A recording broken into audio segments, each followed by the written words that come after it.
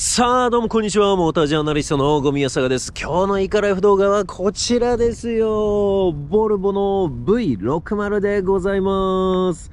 23年モデル式でございます。もう見た目の部分で言うと、もう違いはもうここだけです。この裏にレーダーがもう隠れるようになったので、ちょっとエンブレムが変わりました。それ以外は変わってないと思いますよ。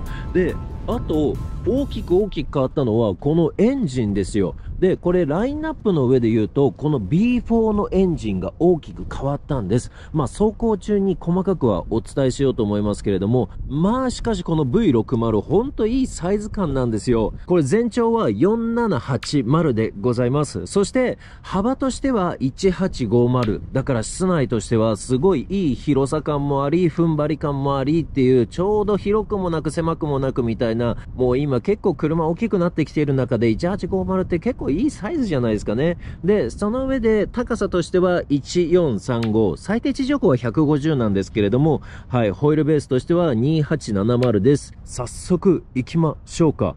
まあ、この辺りのクローム系の過色があるじゃないですか。まあ、なので、もうほら、ここもクローム、クローム、クローム、クローム。まあ、なので、このクロームを見てもらっても、これ上位グレードであることはわかると思います。ほら、クローム、クローム。この B5 のエンジンを積んだモデルには、通常のこれのベーシックなグレードもありますので、もうこれもほら、ベンチレーション付きのシートじゃないですか。だからもうこれ上位グレードですよ。しかもシフトレバークリスタルじゃないですか。完全上位ですね。さあ、スタートしていきましょう。寒いんでね。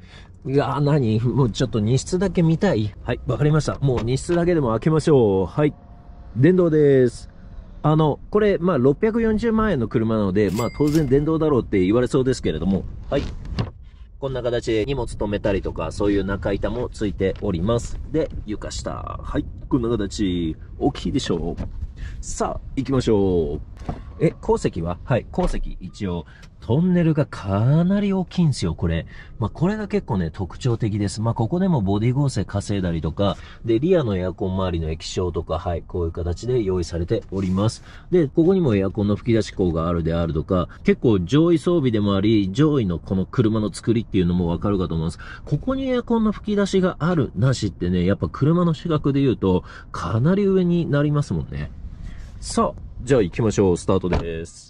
あ、ちなみにボルボはもう今全社ですけれども、全部 Google が入っております。だからもう Google アシスタントみたいな形で、もうボイスコントロールでいろんなことができるようになっておりますし、あ、そうだ、一個大事なこと忘れてた。そうだ、言ってたな。マフラーが外から見えなくなったって、あ、本当だ。全部もう隠れちゃったんだ、マフラー。これでボルボは全てのモデルが外からマフラーは見えなくなりましたね。ボルボは今もう電動化に向けてどんどん舵取りをしているので、まあそういうイメージでしょうね。もう、さあ、なんか最近ね、リチャージとかが増えてきたので、ボルボでこのイグニッシュ入れた時にエンジンの音が聞こえるってなんかすごい新鮮ですね。さあ、じゃあスタートしていきましょう。さあ、では、スタートしていきましょう。これ、実はね、B4 って大きく大きくエンジン変わったし、実はトランスミッションも変わったんですよ。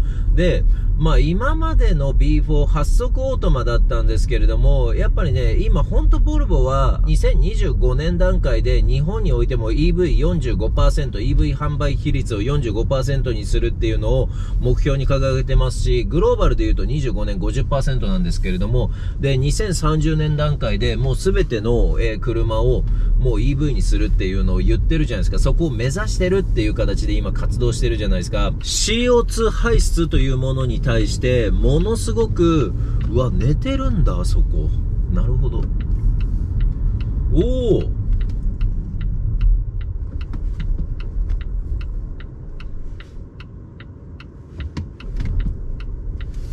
何だったんでしょう、今。逃げてましたね。びっくりしましたね。さあ、今どこまで話したか忘れちゃいましたけど、CO2 排出に対して、まあすごくボルボは今すごく、なんて言うんでしょう、もう細かいところをく積み重ねながらっていう、で、EV に対して全部がバンとは切り替わないじゃないですか。逆に言えば25年段階でもまだミックス率50%っていうところっていうのも重々分かっており、で、そういった中でなるべく CO2 下げていこうと思ったら、エンジンはエンジンで手を加えていかないといけないし、進化させないといけないっていうところは、ボルボもまだまだちゃんとやってるんですよ。で、最終的に30年の段階で、もうエンジンは全部やめましょうっていうような形で今進んでるんですけども、で、その中で、そのエンジンの効率を上げるにはって言った時に、この B4 がまず、えー、変わってきました。B5 はまだ今まで通りです。だから B5 は今までと完全一緒の形で、この V60 においてはクロスカントリーで AWD としてあります。で、もちろんトップグレードとしては T6 がありますね。プラグインハイブリッド T6 があります。ボルボはね、まあ、知ってもらいたい。すげえいろんなことやってるんですよ。なんか優しいメーカーなイメージはあるんですですけど、やってることは超チャレンジャーなので、すげえ大改革者ですよ。今までの既存のものをほんとね、壊しながら再構築っていうスクラップビルドがね、すっごいうまくいってるというか、それを積極的になんかやっているメーカーかなっていう、僕はそういう印象です。今まで B4 って、要は B5 と一緒で、まあターボチャージャーなんですけど、そのターボチャージャーを電動ターボチャージャーでやってたんですよ。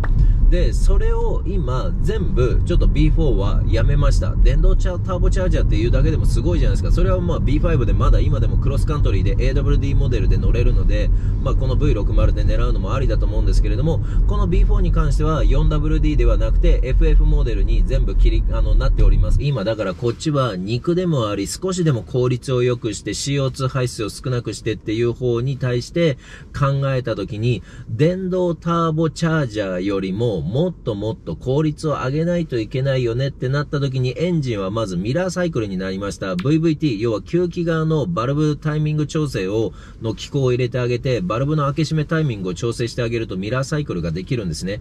ミラーサイクルって何かって言ったら圧縮工程よりも膨張工程の方が多いっていう。要は圧縮したよりもボンって爆発した時に、ピストンが長い時間ドーンって下がるわけですよ。まあその方が爆発のエネルギーを最後の最後まで回収できるじゃないですか。だからエネルギー効率が上がるんですよ。ミラーサイクルっていうのは。そういうまずはエンジンの基本形態を取り入れ、トランスミッションはこれ8速 AT だったんですけど、もともとそれを7速の DCT にしました。質式です。でも7速の DCT でも今結構スタートスムーズでしたけどね。これ言われなかったら、AT って思うかも。プジョーとかシトロエンとかの結構ね、発足オートマとかって、あの、ツインクラッチみたいな味付けするじゃないですか。それよりも全然スマートです。このツインクラッチ7速 DCT。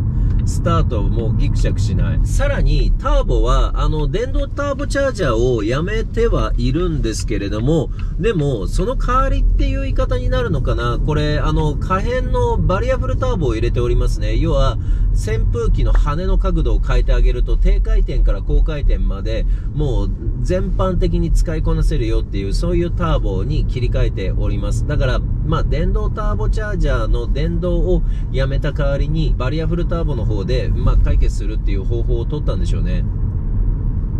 いや、でもね、軽快な感じがすごいあるし、いいんじゃないですか。あとこれマイルドハイブリッドです、もちろん。あの、BSG ですね。ベルト駆動の方です。だからトルクで言うと40ニュートンぐらいですかね。馬力で言うと13馬力ちょっとのモーターが入っております。乗り味はね、何ら変わってない。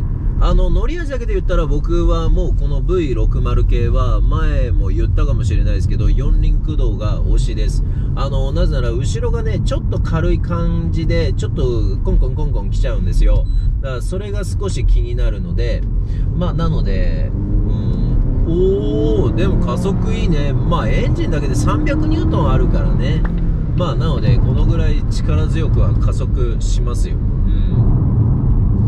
えー、ブレーキの立ちいいです。リアがやっぱちょっと硬いですね。だからこれ家族で旅行行きますって言った時の後席の乗り心地は抜群っていうことではないかな。まあ600万オーバーの車っていうのを考えたらもうちょっとリア落ち着かせたい感触はあるな。うんまあボルボちょっと値上がったんでね全般ね。いや後ろちょっとやっぱコツコツきますね。ちょっとねこのあのドリンクも揺れてるのがわかるかと思います。音も結構してますよね。コツコツコツって。うん。でもミラーサイクルですけど力強さとか吹き上がりの良さとかその辺りは想像以上にある。なんか軽快な感じはある。しかし車がねさっき僕 XC60 乗ってたんですけどあののリチャージ乗ってたんですね。要はプラグインハイブリッド。車が圧倒的になんだろう、まあ、静かさのレベルが違う。やっぱねすげえ静かだったんですね XC60 のリチャージって。タイヤのゴトゴト感とか、ゴロゴロ感、まああれエアサスでもあるので、こっちはエアサスじゃないんですよ。通常のあのコイルスプリングなので、結構乗り味の違いはある。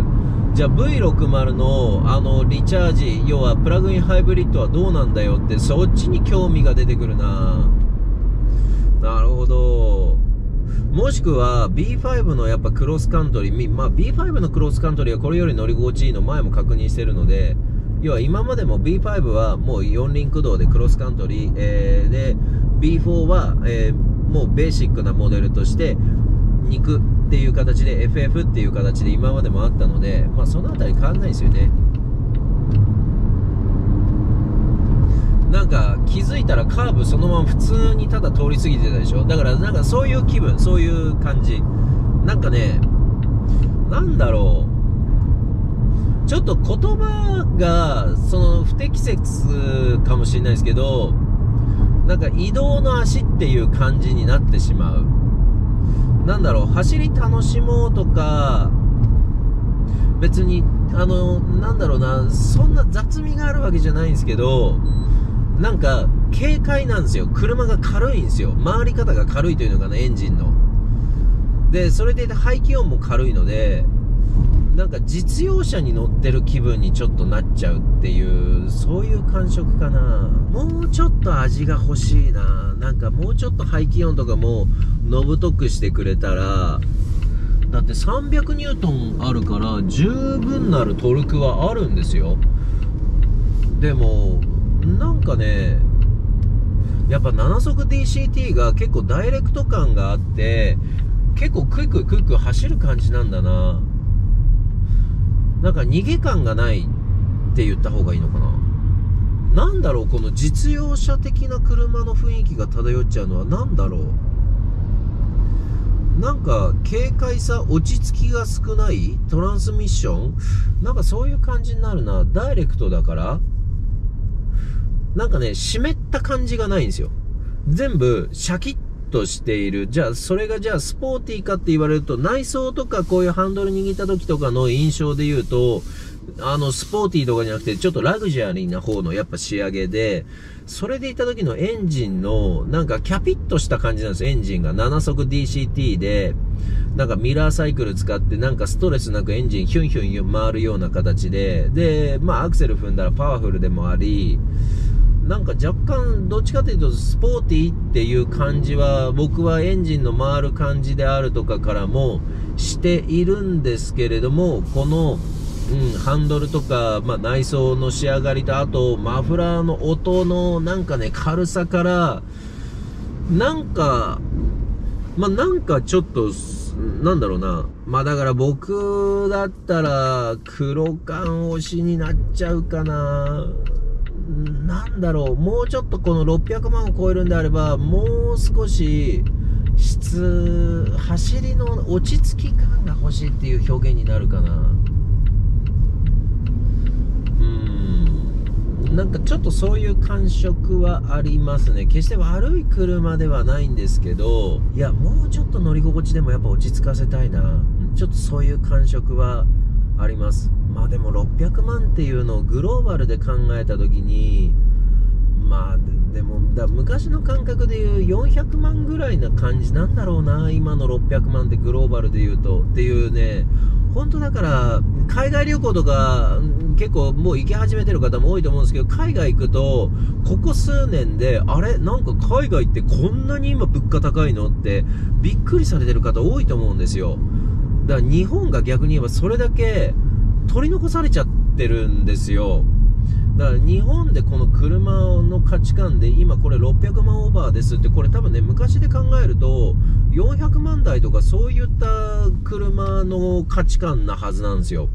っていうね、400万後半500万前後っていう、そういう車の価値観っていう、そういう印象。だから500万ぐらいですよって言われたら、ああ、こう、この感じじゃないっていう、そういう納得の仕方はするんですよ。でも、600万ですって言われると、だ日本だけが、なんかちょっと今、その貨幣価値がちょっとなんか、ミスマッチしてるというのか、世の中に置いてかれちゃった感があって、その価値観から言うと、600万だったらもうちょっと欲しいよねっていう感じを受けると思います。はい。もう、もう、はけるよ。受けると思います。これを乗ると。でも、それって、だから価値観の、うん、貨幣価値の違いなんですよ。だからこれ500万ぐらいな車なんですよ。もともとはっていう。なんかそういう僕はイメージですかね。ななんか、まあ本当グローバルで、もう CO2 を削減して、台数をどうしようこうしようでもう戦ってる、すごく、なんて言うでしょう、チャレンジャーのメーカーなので、ボルボは。だそれで言った時の価格設定とかも、日本市場だからこうだ、ああだ、みたいな、あんま考えてくれてないんじゃないのかな。他のメーカーとかの輸入車メーカーとかは、価格反映をそういった、何て言うでしょうかね、あの、為替レートであるとか、そういうのもそこまで反映させることができずに、今なんかクッションでなんか吸収しながら、日本も物価上昇、世の中の物価上昇に対して、今最近物価上昇どんどん上がってきてるじゃないですか。だから遅れてるんですよ、ちょっと、いや、あの、起きてることが。で、まあ、その原因はって言ったら、給料が上がってないこと、基礎賃金が上がってないことっていうところに、あの、最終的に行き着いちゃうのかもしれないですけどって、全然話が変わってくるね。まあだからこういうちょっと貨幣価値であるとか、まあそういうコストの話をしたくなるような感じっていうことはもう答えわかると思います。だからなんか値段に対して、ちょっと乗り味は、と欲しいなっていう、そう、そういう感触でございます。だからやりたいことはすごい分かります、今。だからボルボとしては、この B4 はもっともっと CO2 削減をかけて、うん、環境に優しい車として、仕上げたいんだなっていうのは分かります。7速 DCT を使ってやっているっていうところからもよくよく分かります。でも驚いたのは7速 DCT が全然ギクシャクしない。で、そのじゃあギクシャクしない理由はどういったところですかって言ったらここで出るかな。モーターが結構すごいです。これ40ニュートンのモーターが最初の低速走行時に結構グってなんか働く感じです。フォルクスワーゲンもマイルドハイブリッドになると、あの、低い小さい排気量のエンジンとかで、あの DCT でも結構スマートに走り出すよねって僕どの車で言ったか忘れちゃいましたけど、そういう現象出てましたけど、これまさにそうですね。マイルドハイブリッド、この40ニュートンで、まあ、十数馬力ですけど、13.6馬力ぐらいなんですけど、10キロワットなので、出力が。なので、その効果が結構出てると思います。だから DCT をスマートに働かせることが、あの、使いこなすことができてると思います。ちなみに、今、ホールドから解除。うお、ホールドからの解除、びっくりするぐらい滑らかですけど。すげえ。まあ、なので、うん、やってることはすごいすごい。ほんとすごいです。すげえ先進的ですよ。ほんと。うん、ボルボは。だから、優しいっていうイメージの裏に隠れたこのチャレンジ精神旺盛な、このスクラップビルド精神のもう塊みたいな、ほんとそういう感覚もあり、うん、超おすすめでございます。まあでもちょっと高いかなっていうのが、まあ正直ちょっと思っているところではあります。まあなので、ちょっと高いかなって思うっていうことは、もうそういうメーカーの場合、一番トップとか行っちゃった方が逆にコスパ良くなるので、感覚的に。なので、僕はやっぱプラグインハイブリッド今おすすめかな、ボルボで言うと。やっぱ電動化の方に向かっているメーカーなので、電動化の方に対してやっぱりね、あの商品力としての熟成度合いは、やっぱりなんかちょっと高まるような感触はありますね。うん。決してあのガソリンも、まあ、今回この B4 がガラッと大きくエンジン変わってるじゃないですか。独立してちゃんと仕上げてきたじゃないですか。まあ、開発を止めてるわけではないんですけれども、やっぱなんか電気の方を、なんか今、うん、充実させてるんだろうなっていうのはちょっと感じるところではあります。まあ改めてまた都内でも乗れたらレポートしますけれども、あの、2023年モデルとしてボルボはね、あの、この V60 もそうだし、XC60 もそうだし、えー、XC90 とかもそうだし、もう全部ガラッと切り替わってるので、すっごいパトカー来ましたね、さっきの。うん。えー、まあなのでそういう風に大きく切り替わってるタイミングですので、うん、注目してもいいのではないかなと、個人的には電動化されているリチャージおすすめです。外からプラグをさせる T6、T8 系のパワートレーンを積んでるモデルが僕は今個人的におすすめかなと。まあそれ相応の値段になってしまいますけどね。はい。ではでは、失礼いたします。いかがほ？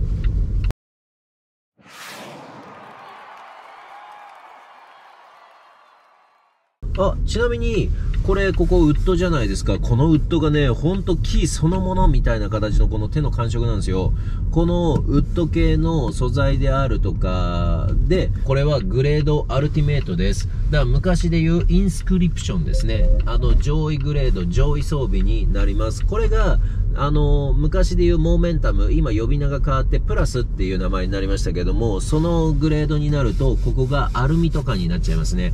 皮もこのベンチレーションのあのシートの皮ではなくて、普通の、まあ、ファブリック系になってしまうので、まあ、装備の呼び名とかも全部変えてきてるので、今、ボルボは。ちなみにね、このハンドルの調整幅が、この大きいっていうのも、まあ、ボルボの良さとしてありますので、まあ、最後にちょっとお伝えしておききたいと思います。